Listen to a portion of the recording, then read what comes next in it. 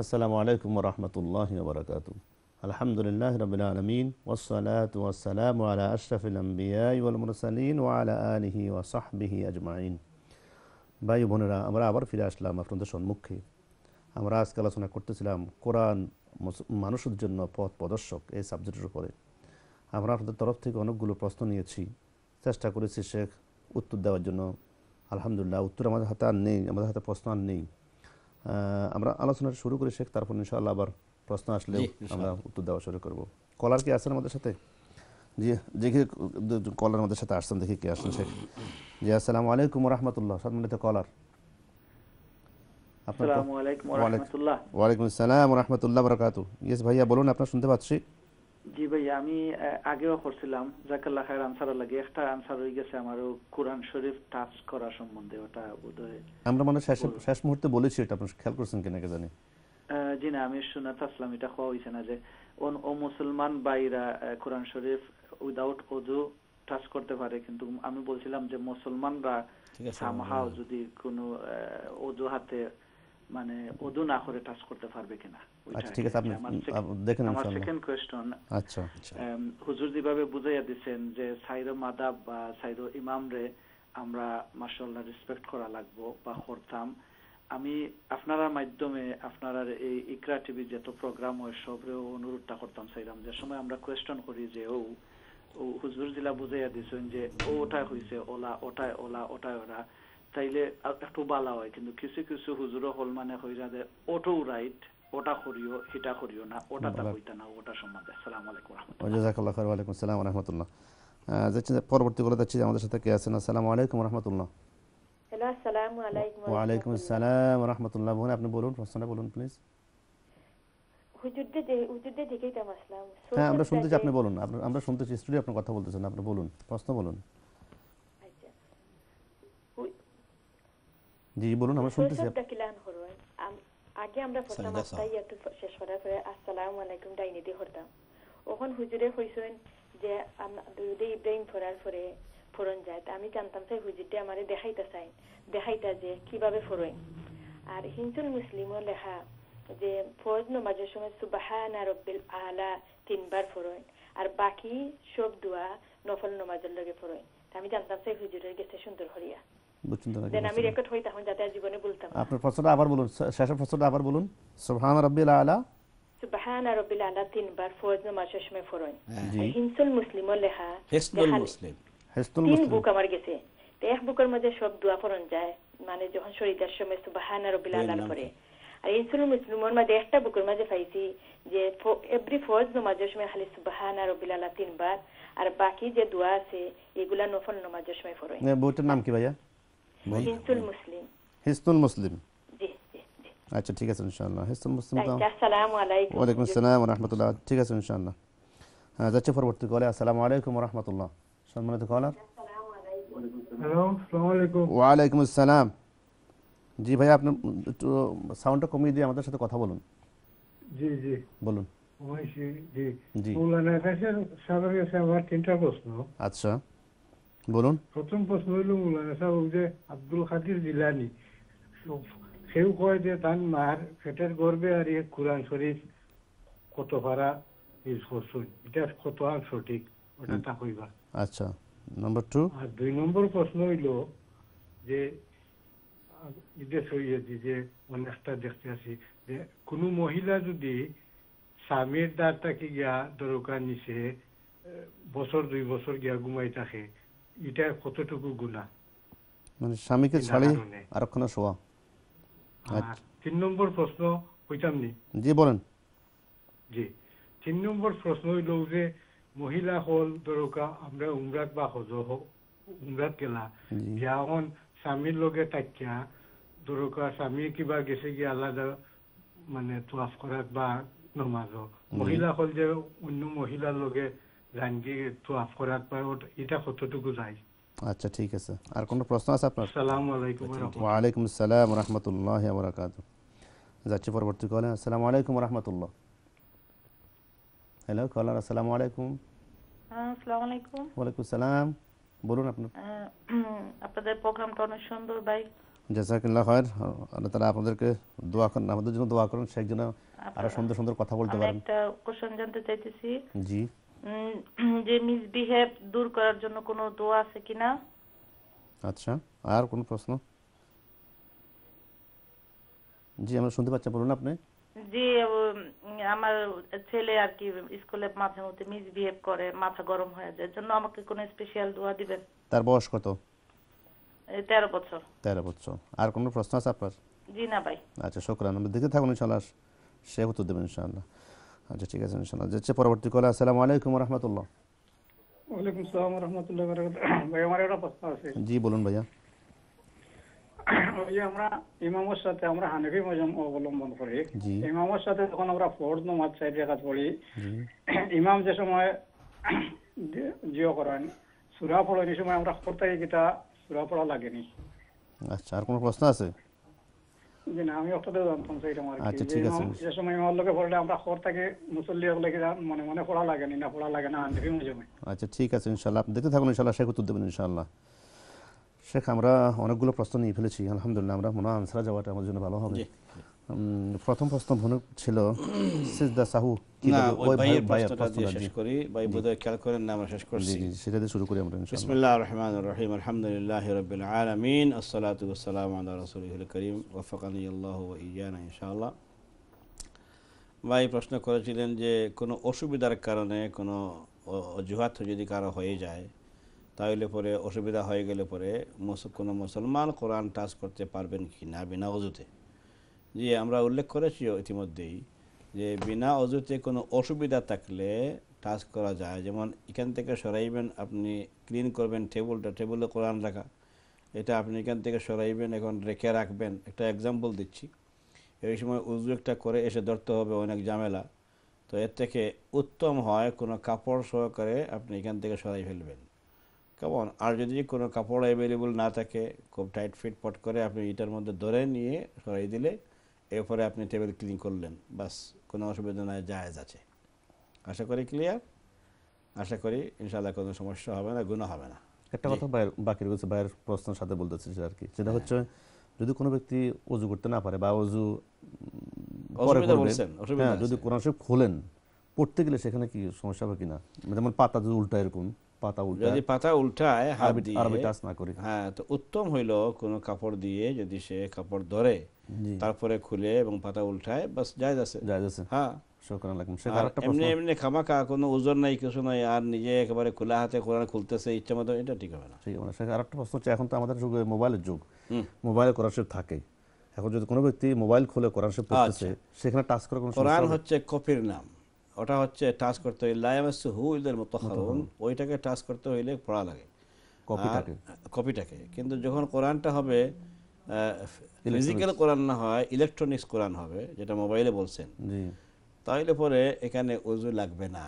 কারণ হচ্ছে কি কোরআন যখন ফিজিক্যালি আপনি না দেখেন তখন তো এটা আপনার কাছে এটা এটা কি বলে ফিজিক্যাল কোরআন না এক কথায়। এটা হচ্ছে গায়েবী কোরআন। কেমন এটা শুধু টাচ করলে চলে। এক্সাক্ট এটা স্ক্রল করে পড়া যায় আছে। অনেক ওলামায় কালাম ফতোয়া দিয়েছেন বর্তমান বিশ্বে। অজু লাগবে না। ওজু লাগবে না। আরেকটা প্রশ্ন শেখ থেকে যায় যে কোরআন মনে করেন যে মোবাইলে কোরআন আছে আমরা মোবাইল নিয়ে বাথরুমে যাই এটা কি ঠিক হবে? ওই তো সেম কথা বাথরুমে না গিয়ে অন্য জায়গা আবার যদি সেফ না থাকে তো সমস্যা। জি। এই জন্য ওলামায় কালাম উল্লেখ করেছেন যে কোরআন তো ভিতরে আছে। যেমন করে একজন হাফেজ সাহেবের ভিতরে কোরআন আছে. ইলেকট্রনিক্স স্টাইলে ওটা দেখা যায় না। টাচ করলে পাওয়াও যায় না। কিন্তু হাফিজকে যদি বলেন যে একটু পড়েন দেখবেন বেটা একেবারে। মাশাল্লাহ পড়া শুরু করছেন। তাহলে এমনি করে তার বাথরুমে যাওয়া কি হবে? হ্যাঁ যখন যদি তারা বলেন তোমার বাথরুমে যাওয়া নিষেধ। খাই খাইছে। তাই জন্য এটা ঠিক না যে কোরআন থাকলেই আর আর যে কোনো কিছু করা যাবে না। এই মোবাইলের মধ্যে এটা সক্রিয় আদায় করা দরকার যে আধুনিক সিস্টেমের কারণে এবং প্রযুক্তির কারণে ডিজিটাল কোরআন আমাদের কাছে আছে আমরা অর্থ পাই তিলাওয়াত করতে পারি সব কিছুই পারতেছি সেকেন্ডে হাতের মধ্যে আপনার আছে। তো এটা হচ্ছে অনেকটা হাফেজদের অন্তরের মধ্যে যেমন করে কোরআন তাকে আছে এমনি করে রেকর্ড করা আছে আমাদের মোবাইলের মধ্যে। এই জন্য আলমায় কালাম এটার পক্ষে জাইজ বলে ফতোয়া দিয়েছেন। আল্লাহ আলম। জাজাকাল্লাহ ভাই আশা করি আপনার উত্তর পেয়েছেন আলহামদুলিল্লাহ। পরবর্তী এক কল ছিল আমাদের বোনে বলেছেন যে সাজদাতু কেমনে কিভাবে- করতে হয়? কীভাবে করতে হয়? সাজদাতে সহ করার দুইটা পথ। দুইটা নিয়ম। একটা নিয়ম হলো যে আপনি সারা নামাজ শেষ করে তাশাহুদ এরপরে দুরুদে ইব্রাহিমি পড়ে এরপরে আল্লাহ দোয়া আল মাসুরা বা আর কোনো দোয়া যদি পড়েন তাহলে পড়া টড়ে এন্ডে এসে আপনি দুইটা সরি দুই কী বলে দুইটা সাজদা দিবেন। কেমন? সালাম না ফিরায়ে এন্ডে এসে দুই সাজদা দিবেন। দিয়ে আপনি উঠে বসলেন আল্লাহ আকবর বলে। বসেই দুই দিকে সালাম ফিরিয়ে ফেলবেন। আসসালামু আলাইকুম রহমতুল্লাহ সালাম রহমতুল্লাহ বাস হয়ে গেছে। আর আরেকটা পদ্ধ- এটা হচ্ছে বুহারি মুসলিম থেকে শুরু করে অনেকগুলো সহি কিতাবের এটা এটা হচ্ছে. মাসআলা। আর আরেকটা হচ্ছে মাঝখানে কেমন? মাঝখানে এটাও কিন্তু হাদিসে আছে যে শুধুমাত্র আস্তাহাইয়াতু পড়ে শেষ করছেন দুরুদে ইব্রাহিমে তো যাবেন না। কেমন? ডান দিকে সালাম ফেরাবেন এরপরে দুই সেজদা দিবেন দিয়ে উঠে বসে আবার আপনি সব পড়বেন আত্মাহিয়াতু পড়বেন। এরপরে আল্লাহ সাল্লাহ বারিকালা পড়বেন দুয়া মাসা পড়ে আবার নর্মাল সালাম ফেরাবেন। এই ক্ষেত্রে আবার ইখতলাফ আরেকটু আছে যে আর না পড়লেও হবে অথবা পড়া লাগবে। একদল ওলামা উল্লেখ করেছেন যে না সব পড়া লাগবে। আর আরেক দল বলেছেন যে না পড়লেও হবে সালাম ফিরিয়ে ফেললে হয়ে যাবে। আল্লাহ ভালো জানে সেটাই। পরবর্তী মানা যায় কোনো অসুবিধা নেই। যে কোনো একটা করলে আপনার নামাজ হয়ে যাবে। বোনের আরেকটা প্রশ্ন ছিল আনুষঙ্গিক প্রশ্ন। উনি বলছেন রব্বি সুবহান রব্বি আলা ফরজ নামাজে তিনবার পড়ার জন্য হেস্তুল মুসলিম বইতে দেখেছেন। প্রশ্নটা আমার কাছে খুব ক্লিয়ার হয় নাই যে সুবহান রব্বিয়াল আলা পড়ার পর সাজদাতে আরও অনেকগুলো দোয়া যোগ দেওয়া যায়। কেমন আল্লাহ ইন্নি আউদ্দিকা বলে অনেক দোয়া আছে। আল্লাহ ফিল্লি বলে দোয়া আছে। এরপরে রূহ এবার জাতীয় অনেকগুলো দোয়া আছে উল্লেখ করেছেন। এবং হিসনুল মুসলিম বইতে দোয়াগুলো তো আছে বোন। আপনি কোন কোন জায়গায় পেশ খাইছেন একটু আপনি চেক করবেন। ওনার প্রশ্নটা ক্লিয়ার ছিল। প্রশ্ন উনি বলছেন যে ফরদ নামাজে সুবহান রব্বিল আলা সুবহান রব্বিল আলা তিনবার বলি আমরা। হ্যাঁ। অন্য কোন বইতে উনি পেয়েছেন যে ফরজ নামাজ যদি না হয় নফল নামাজে তাহলে সেখানে অন্য অন্য দোয়াও আপনি পড়তে পারবেন এটা সহকারে। ফরজ নামাজে পড়া যাবে না বলে আমি জানি নাই। আমার এক্ষেত্রে কোনো ইলম নাই। আমি জানি ফরজেও পড়া যাবে, নফলেও পড়া যাবে। যে বইটি পেয়েছেন যদি ওই বইটা থেকে একটু রেফারেন্স সহকারে পড়েন, খুশি হব যদি আপনি আমাদের সাথে থাকেন। এটা কষ্ট করে কোন বইতে পড়েছেন যে ফরজ নামাজে সুবহান রব্বিয়াল আলার পরে দোয়া পড়া যাবে না, ওই বইটা থেকে যদি একটু আপনি আমাদের জন্য পড়েন এবং এবং কি রেফারেন্স দিয়েছেন লেখক? একটু উল্লেখ করেন আমাদের জন্য ভালো হবে। শুক্রান। জাজাকাল্লাহ আমার মনে হয় আমরা একটা পরামর্শ আমরা দিতে পারি। আপনি হেস্তুল মুসলিম বইটাই ফলো করেন। এনাফ ওখানে যা আছে। ঠিক আছে। ঠিক আছে। শোকরান লাকুম জাজাকাল্লাহ বোন আপনি বুঝতে পেরেছেন আশা করি। আর ভাই প্রশ্ন করেছেন শেখ।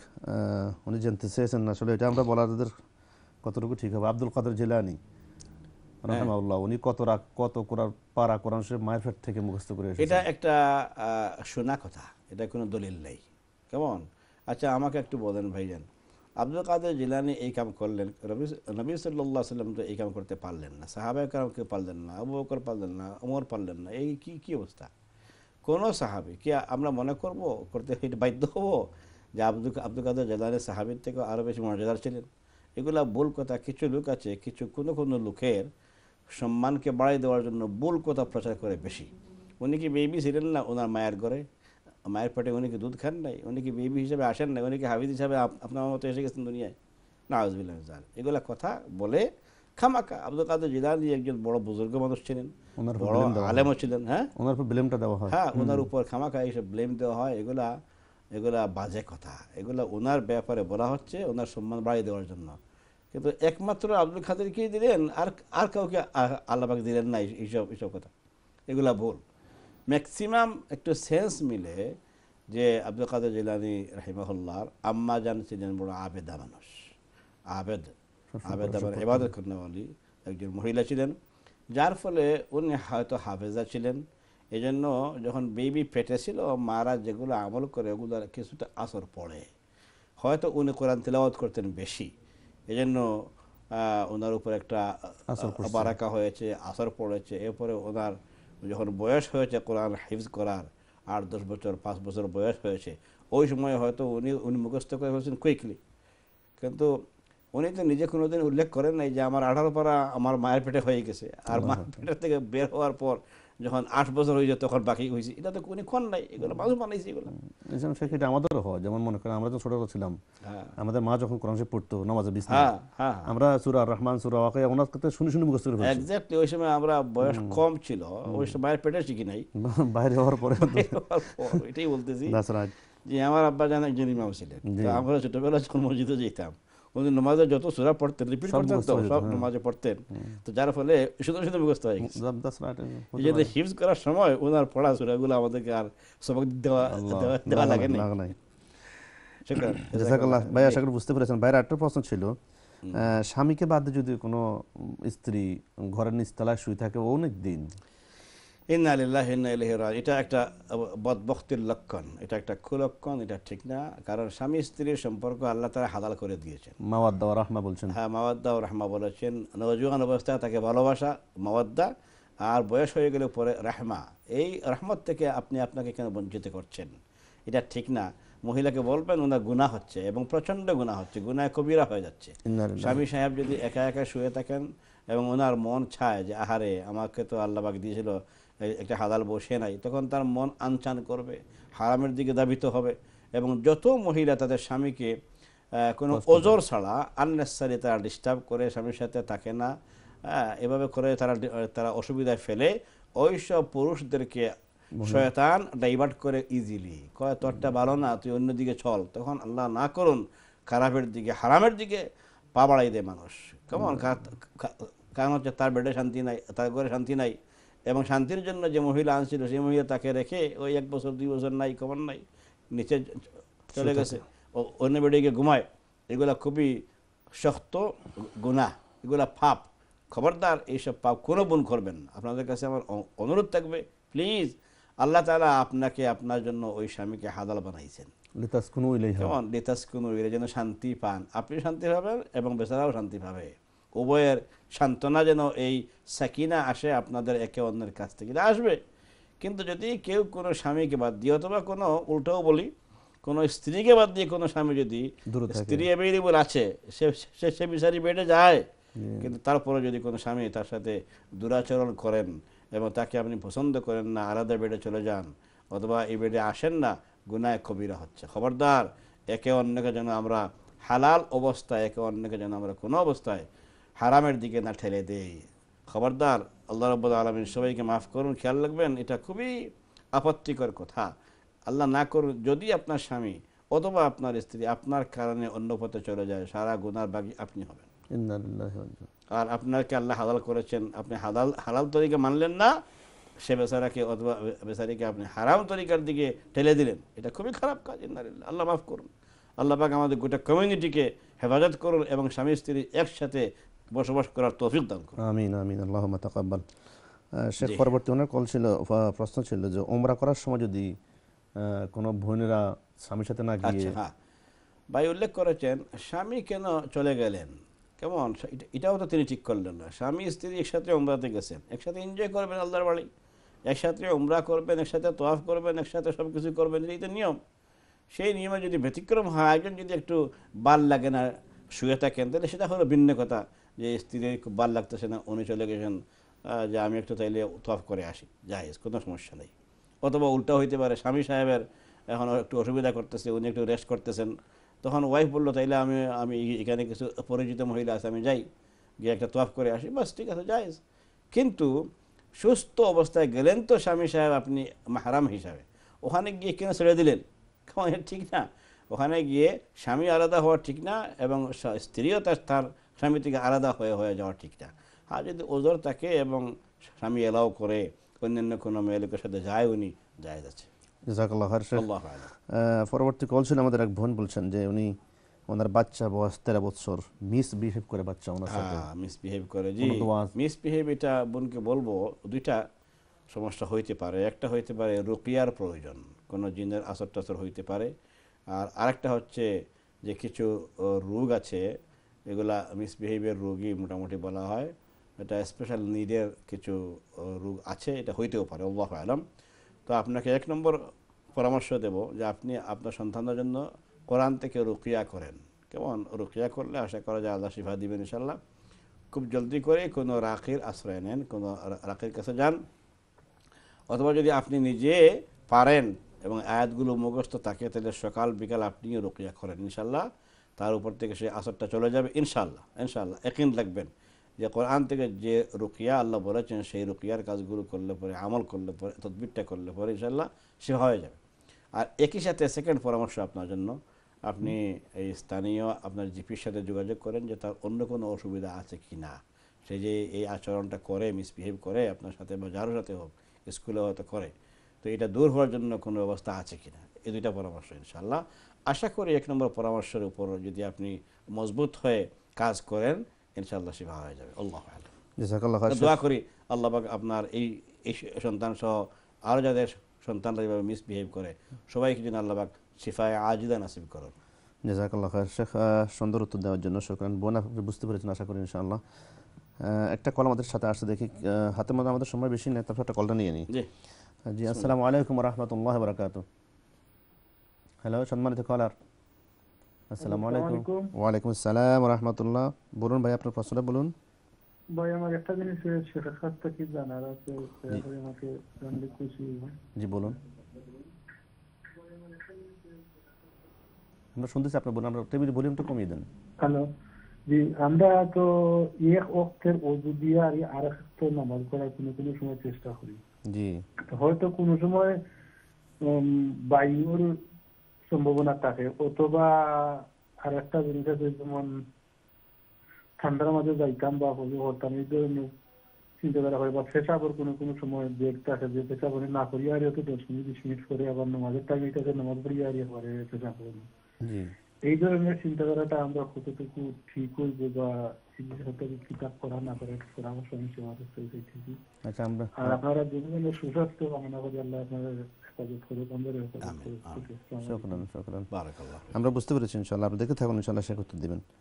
জাজাকাল্লাহ খার শেখ আমাদের হাতে একটা আর একটা আসসালামু আলাইকুম রহমতুল্লাহ। সম্মানিত কলার?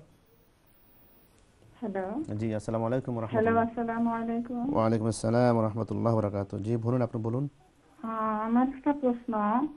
প্রশ্নটা হলো যে ফজরের নামাজ বিগিনিং টাইম এর আগে যদি কোরআন শরীফ পড়াকালীন অবস্থায় সেজদা তিলাওতে সেজদা আসে তখন ফজরের ওয়াক্ত হওয়ার পরে শুরু হওয়ার পরে ফজরের নামাজ পড়িয়া তিলাওত সেজদা দিব না এর আগে দিব ওই একটা প্রশ্ন আমার। মানে ফরজ ফর আর একটু ক্লিয়ার করেন। বুঝা বুঝা গেছে বুঝছেন? আচ্ছা ঠিক আছে ইনশাআল্লাহ।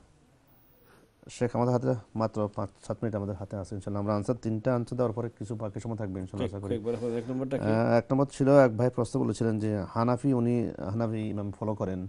উনি ইমামের ফিসে ফরজ নামাজ যখন পড়েন যখন ইমাম তেলাওয়াত করেন তখন উনি কি করবেন? জি। জাজাক আল্লাহ খাইরান ভাইজান রসুল্লাহ সাল্লাহ আলহি আসাল্লাম যা করেছেন তা আপনি যে করেন দুইটা মত আছে এক্ষেত্রে। একটা মত আছে সহি হাদিসের ভিত্তিতে রসুল্লাহ সাল্লাহ আলহি আসাল্লাম বলেছেন যে কোরআন হাকিমের আয়াতটা আগে পড়ি। যখন কোরআন তেলাওয়াত করা হবে তখন তুমি কোরআন তেলাওয়াত শুনো। কেমন? খুব মনোযোগ সহকারে শোনো। শুধু শোনো না মনোযোগ সহকারে শোনো। কেমন? ও ইদা করি আল কোরআন ফাস্তামিউলাহু আনসিতু। এবং চুপ থাকো। তা চুপ তো আমরা আছি না মাঝে আর মনোযোগ দিয়ে শোনার জন্য বলছেন যখন ইমাম সাহেব বড় করে পড়বেন আওয়াজ আপনার আমার কানে আসবে। তাহলে ক্লিয়ার হয়ে গেল। আর আরেকটা হাদিস হচ্ছে হাদিস হচ্ছে রসুল সাল্লাহ আলহি আসাল্লাম বলেছেন যে তুমি পড়ো কারণ সুরা ফাতিহা নামাজে না পড়লে নামাজ হয় না। এই হচ্ছে আরেকটা হাদিস। এখন আসেন, কোরআনের আয়াত বলতেছে, যখন পড়া হবে কোরআন কানে, নিজের কানের আওয়াজ আসবে, তখন তুমি শোনো। সরি এটা আল্লাহ বলতেছেন। আল্লাহ তালার আয়াত, আয়াতে বলতেছেন যে, তুমি শোনো, মনোযোগ সহকারে শোনো আর চুপ থাকো। তো চুপ তো আমরা আসি নামাজে, এখন মন দিয়ে শুনতে হবে। এই জন্য পেছন থেকে কেউ না পড়া উত্তম। আশা করি ক্লিয়ার হয়ে গেছে? আর যখন ইমাম সাহেব কোয়াইট পড়বেন, যেমন জোহর এবং আস নামাজে। কেমন ওই সময় টের পাওয়া যায় না যে তিনি কি পড়ছেন। তবে এই সময় রসুল সাল্লাহ সাল্লামের হাদিস যেটা আছে, এটা আপনি লাগাই দেন। আপনি সুরা ফাতিহা পড়েন। কেমন যে নমাজে ফাতিহা নাই, সেই নমাজ নমাজ নয়। সেই নমাজ হয় না। রসুল সাল্লাহ সাল্লামের হাদিস হচ্ছে এটা। আর আরেক কানা হাদিস আছে যে ফাতিহাতুল ইমামে ইয়াকফিল মুসাল্লি আও কামা কাল রসুল সাল্লাম যে ইমাম সাহেব তো ফাতিহা পড়তেছেন তো চুপ নামাজেও। যদি মুসল্লিরা না পড়ে তার নামাজ হয়ে যাবে। আল্লাহ আকবর ইমামেরটা কাফি। তাইলে দুইটা হাদিসে সহি আর কোরআন কোরআনের আয়াত তো আছেই। তো হিসাবে অপশন আছে। আপনি চাইলে পড়তে পারবেন না পড়লে আপনার নামাজ হয়ে যাবে। বইয়ের কোনো আশঙ্কা নাই কোনো কারণ নাই। পড়লে সব পাবেন। যদি আপনি সুরা ফাতিহা পড়েন কয়েক নামাজে তা আপনি আমি তো এখন এখন বেকার ইমাম সাহেব তার উনি উনি পড়তেছেন। তা আমরা বেকার এই বেকার হিসাবে যদি আপনি পড়েন সব পেয়ে গেলেন এক্সট্রা করি ভাই বুঝতে পেরেছেন। পরবর্তী কল ছিল আমাদের এক ভাই বলেছেন যে অজু দিয়ে উনি প্রথম অজু অজু করছেন অজু করার। পরে অজু লঙ্গার করছেন। এক অজু দিয়ে আরেক অজু সরি এক ওয়াক্তের নামাজ কেন তিন ওয়াক্তের নামাজ পড়তে পারবেন? যদি আপনার শারীরিকভাবে কোনো সমস্যা না হয় এবং আপনি অজু রাখতে পারেন আপনার বায়ুর কোনো দোষ নাই। কিন্তু আপনি যেটা উল্লেখ করেছেন যে বায়ুর বেগ থাকে প্লাস পেশাবেরও বেগ থাকে। বেগ যদি হালকা হালকা হয় কোনো রকম পড়ে ফেলতে পারেন তাও ঠিক আছে।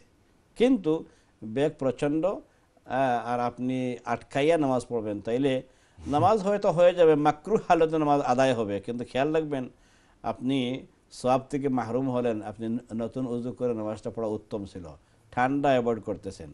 অথবা আপনার কষ্ট হবে। এই কষ্ট তো আসছেই জন্য সব পাবেন। এজন্য প্রত্যেক ওক্তে ওক্তে নতুন উজু করা উত্তম।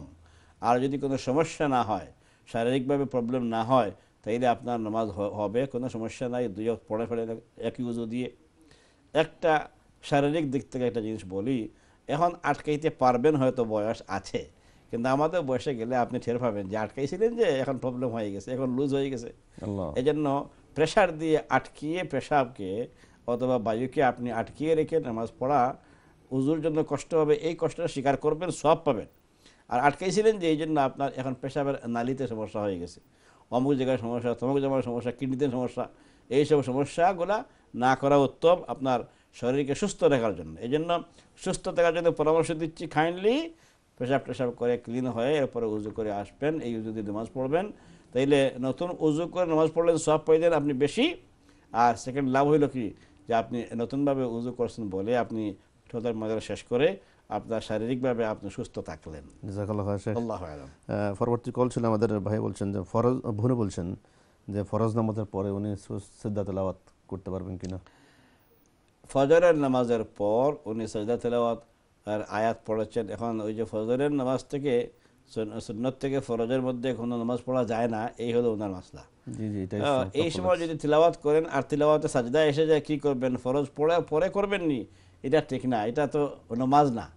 এটা হচ্ছে কোরআন তিলাওয়াতের সাজদা। এই জন্য তিলাওয়াতের সাজদা দেওয়া যায় বোন কোনো অসুবিধা নাই আপনি দিবেন। এটা আলাদা করে আপনি রাখবেন না মনে রাখবেন তেলাওয়াতে সাজদার কোনো কাজা নাই। এটা যখনই পড়বেন তখনই দিবেন। এবার নামাজের মধ্যে পড়লে সাথে সাথে দিতে হয় কেন? খেয়াল না হাফিজরা দেন রোজা মাসে? যখনই তারা আয়াত তেলাওয়াত করেন তখন দেন। দেরি করে দেওয়ার নিয়ম নাই এটা। এটার জন্য কোনো কাজা নাই আলাদা। তাৎক্ষণিক আদায়। এই জন্য আল্লাহ উল্লেখ করেছেন যে ফাসজুদুলিল্লাহ ওয়াবুদু তোমরা এখন আল্লাহর ইবাদতের অংশ হিসেবে সাজদা করো। তো সাজদা করা আল্লাহ প্রথমে করো। তুমি বললে না একটু পরে করতেছি আল্লাহ। আল্লাহ ঠিক না না এটা ঠিক না। এই জন্য সাথে সাথে দিয়ে দিয়েন। কেমন? জাজাকাল্লাহ খায়ের আমাদের হাতে সময় আছে এক মিনিট মাত্র। একটু আমাদের উদ্দেশ্যে কিছু বলেন। বিসমিল্লাহ, আলহামদুলিল্লাহ ওসলাতু ওসালাম আল্লাহ রসুলিল্লাহ সাল্লাহ আলহি ওসাল্লাম অতি সংক্ষিপ্ত আকারে যেটা মেসেজ পেশ করতে চাচ্ছি সেটা হচ্ছে, কোরআন তেলাওয়াত করা, কোরআন হচ্ছে আমাদের জন্য একটা বড় মেসেজ যা আয়াত পেশ করেছিলাম অলিউদ্দার বি অলিয়া আলমুয়াল্লামা হুয়া ইলাহ ওয়াহিদ অলিউদ্দাক্কর উল আলবাব। আল্লাহ বলেছেন যেটা হচ্ছে বালাগ ওপেন মেসেজ ফর এভরিওয়ান আসুন আমরা কোরআনটা শিখি, পড়ি। বিশেষ করে অর্থসহ জানার জন্য সবাইকে অনুরোধ করব। আর না পড়লে পরে গুনাহ কি আছে? আমি তো শুরু করেছিলাম সেই আয়াতটা। আজকে শেষ হয় না আগামী দিন ইনশাল্লাহ আল্লাহ পাক যেদিন আনবেন আগামীতে, এই সময় আপনাদের সামনে কোরআন না পড়লে পরে ক্ষতি কি কি গুনাহ কত বড় এবং কি আজাব হবে, এগুলোর ব্যাপারে একটু আমরা আলোচনা করব আগামী দিন। আল্লাহ সুবহানাহু তাআলা আজকে যে আলোচনা পেশ করেছি এবং শুনেছি সবাই এবং যারা আমাদের সাথে প্রশ্ন করে শেয়ার করেছেন সবাইকে সবাইকে মোবারকবাদ জানিয়ে শেষ করি এখানে। ও আখির দাওয়ানা আলহামদুলিল্লাহি রাব্বিল আলামিন। আসসালামু আলাইকুম ওয়া রাহমাতুল্লাহি তাআলা ওয়া বারাকাতুহু। জাজাকুমুল্লাহ খায়ের শেখ সম্মানিত ভাই ও বোনের আলহামদুলিল্লাহ অনেক সময় থেকে আমরা আলোচনা শুরু করছিলাম। আমরা কোরআনের উপর আলোচনা করতেছিলাম। শেখ অনেক সুন্দর করে আপনাদেরকে বুঝিয়েছেন। আপনারা দেখতেছিলেন একরা বাংলা কর্তৃক আয়োজিত এনলাইটেন জার্নি অনুষ্ঠান আপনাদের প্রিয় অনুষ্ঠান। প্রতি বুধবারে এই সময় হয়ে থাকে দুইটা থেকে সাড়ে তিনটা পর্যন্ত। আলহামদুলিল্লাহ আল্লাহ রবুল্লা আলমিন আজকে আমাদেরকে যে কথাগুলো বলার তৌফিক দিলেন শেখ যে কথাগুলো বললেন আমরা যে শুনলাম আল্লাহ যেন এগুলো আমল করার তৌফিক দান করেন। এবং যে সমস্ত কথাগুলো আমরা যদি বাই মিস্টেক কিছু হয়ে যায় আল্লাহ যেন আমাদেরকে এগুলো মাফ করে দেন। আর আল্লাহর কাছে দোয়া করব ইয়া রাব্বুল আলমিন কেয়ামতের দিন মুসিবতের দিন এই সময়টা যেন আমাদের জিন্দিগির সব গুণাগুলো মাফ করে আমাদেরকে জান্নাতে যাওয়ার ব্যবস্থা করে দেন আল্লাহ আমিন, আলমিন। سبحانك اللهم وبحمدك. وبحمدك. نشهد أن لا إله إلا أنت. أستغفرك وأتوب إليه السلام عليكم ورحمة الله وبركاته. وعليكم السلام ورحمة الله تعالى وبركاته.